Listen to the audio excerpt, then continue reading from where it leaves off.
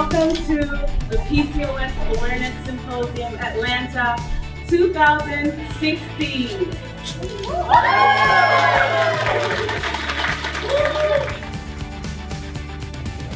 PCOS Awareness Symposium is a life-changing event.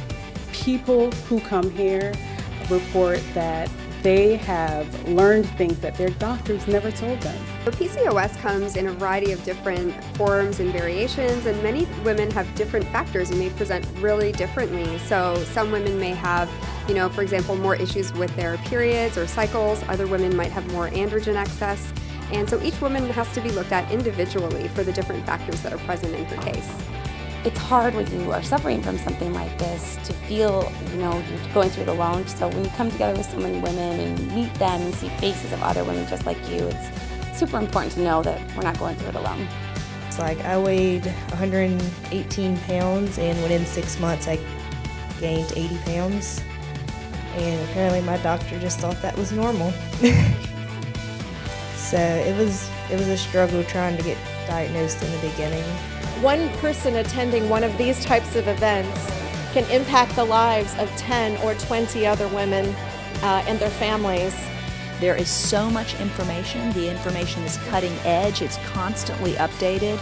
Um, you will receive inspiration. In addition to knowledge, you can network with other women that have PCOS. One of the exciting findings that I learned today was about the PCOS Precision Project and how we're finding that certain foods increase insulin more than other foods, and it's different from the glycemic index. And modifying these foods based on your blood type and your body type and your microbiome is all going to help to determine um, making modifications that is ultimately going to benefit your health.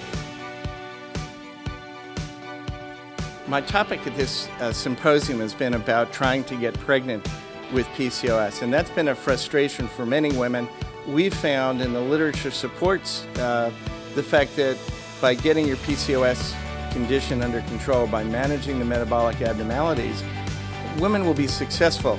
Getting rid of the, the inflammatory foods and, like gluten, um, dairy, and sugar, and um, moving my body in ways that felt good. It, it's a way of kind of rejuvenating myself. I am just so excited, overwhelmingly so, to see everyone here in your teal. It, it kind of got me a little teary-eyed earlier, but it's it's it's extraordinary. It's extraordinary to have so many people together for this cause. Everyone with PCOS, everyone who has a family member, a friend, um, co-worker with PCOS could benefit from being a part of the PCOS Awareness Symposium.